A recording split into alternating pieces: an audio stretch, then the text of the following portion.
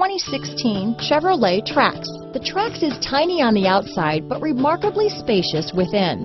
It comes with a clean and modern interior. This vehicle has less than 3,000 miles. Here are some of this vehicle's great options.